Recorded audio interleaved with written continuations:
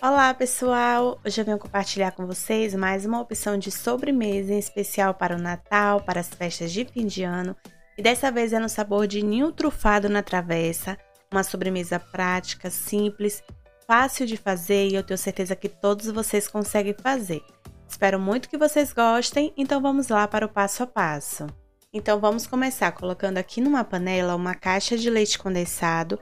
Essa caixa contém 395 gramas Vou acrescentar aqui também duas caixinhas de creme de leite, cada caixinha dessa contém 200 gramas. Agora eu vou colocar aqui 5 colheres de sopa de leite em pó, estou usando o próprio leite ninho, tá? E é muito importante, pessoal, que você mexa muito bem os três ingredientes para que venha dissolver completamente o leite em pó antes de você levar ao fogo, isso é muito importante, tá? Depois que dissolver assim completamente, vamos então levar tudo ao fogo. Não precisa colocar manteiga nem margarina. Vamos levar o fogo, nesse momento é muito importante que você coloque o fogo sempre do médio para o baixo para não queimar. é importante que você mexa até chegar no ponto que eu vou mostrar aqui para vocês. E como aqui eu vou fazer para uma sobremesa, não precisa ficar tão consistente como um recheio de bolo, tá?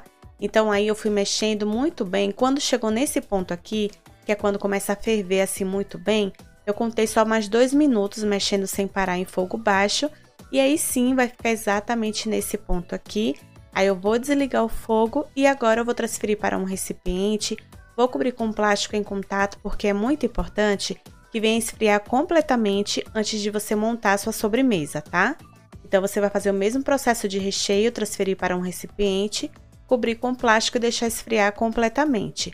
Enquanto isso, para o nosso chocolate, nós vamos precisar aqui de 350 gramas de chocolate. Eu estou usando chocolate meio amargo.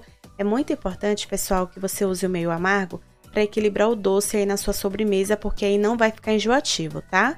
Vamos acrescentar aqui uma caixinha de creme de leite de 200 gramas. Agora é só levar tudo no micro-ondas de 30 e 30 segundos ou em banho-maria até derreter assim tudo completamente, tá?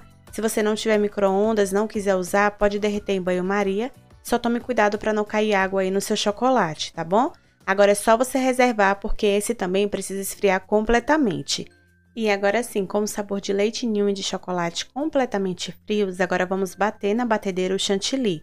Aqui eu estou usando meia xícara de chantilly, 120 ml apenas, bem gelado. É muito importante que esteja bem gelado, tá, pessoal? Vamos acrescentar também duas colheres de sopa cheia de leite ninho, leite em pó. Vamos mexer primeiro antes de ligar a batedeira, só para não voar leite em pó para tudo que é canto, né? Depois você liga a batedeira, bate na velocidade máxima até chegar no ponto bem firme, que é aquele ponto bem poroso. E agora sim, depois de bater muito bem, que chegar nesse ponto bem firme, aí sim você pode desligar a batedeira, tá? O ponto certo desse chantilly, ele vai ficar assim bem poroso mesmo, tá bom? Não precisa hidratar. Agora vamos pegar aquele sabor, né, que foi feito no fogo, depois que esfriar completamente o sabor de leitinho, você vai acrescentar todo o sabor aí junto com o chantilly. Por isso que eu falei para vocês que é muito importante que deixe esfriar completamente, tá? Não coloque esse recheio junto com o chantilly, nem quente nem morno, senão não vai dar certo. Aí primeiro você mexe assim um pouco muito bem com uma espátula só para misturar tudo muito bem e aí você volta a ligar a batedeira e bate só por mais dois minutos.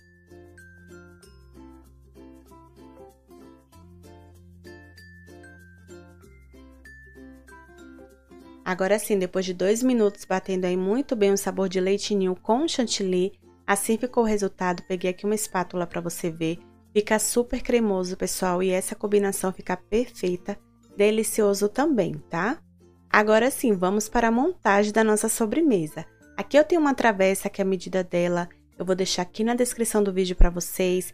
Essa travessa de vidro que eu estou usando, ela tem uma capacidade para até 2 litros e 800 ml, quase 3 litros, tá? E eu começo colocando um pouco do sabor de chocolate aí no fundo da travessa e mexo muito bem com o auxílio de uma colher. Agora eu venho com a metade do sabor de leitinho, espalho também muito bem com a colher. Lembrando que é muito importante que tenha, pessoal, esse sabor de chocolate, porque como o nome diz, né? É um trufado de leite ninho. Então, para ser um trufado de leite ninho, tem que ter esse sabor de chocolate, tá? Depois de espalhar muito bem, eu vou colocar mais um pouco do sabor de chocolate. Eu dividi em três etapas o sabor de chocolate e em duas etapas aí o sabor de leitinho. Espalho muito bem e em seguida coloquei o restante do sabor de leitinho.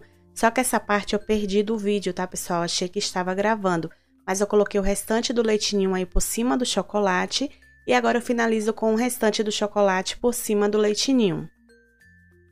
Não sei se deu para vocês entenderem, mas foi uma camada de chocolate, uma camada de leitinho, depois no meio eu coloquei chocolate, depois em cima do chocolate eu coloquei o restante de leitinho e agora eu estou finalizando com o restante do de chocolate, tá?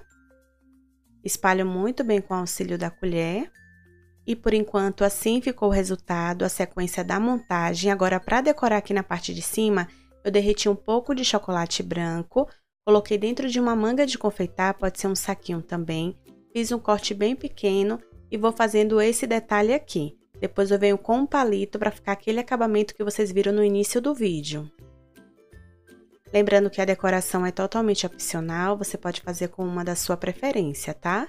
Agora eu peguei aqui um palito de churrasco, pode ser um palito aí da sua preferência. E aí eu faço esse detalhe. Primeiro eu venho puxando, pessoal, depois eu vou no sentido ao contrário e vou fazendo essa sequência até acabar.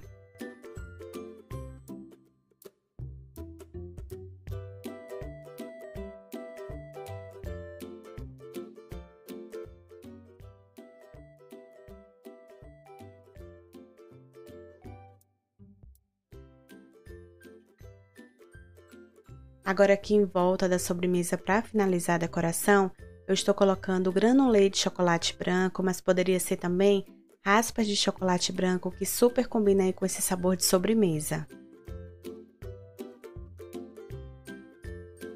E agora sim, pessoal, aqui a minha sobremesa já está pronta, uma decoração simples, mas eu tenho certeza que vai ficar lindo aí na sua ceia de Natal. Agora você tem que cobrir muito bem com plástico filme ou um papel alumínio e leva para a geladeira por no mínimo 6 horas, tá? Agora o meu, depois de 6 horas, eu vou tirar aqui da geladeira, começo tirando o plástico filme que eu cobri muito bem antes de levar. Vou cortar aqui um pedaço para vocês verem novamente como ficou o resultado dessa sobremesa por dentro.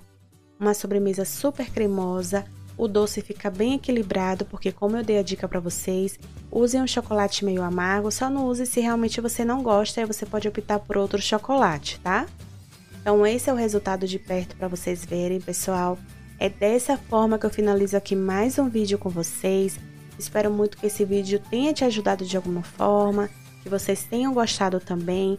E se você gostou, não esqueçam de deixar aqui embaixo o seu like, compartilhar muito com seus amigos também nas suas redes sociais.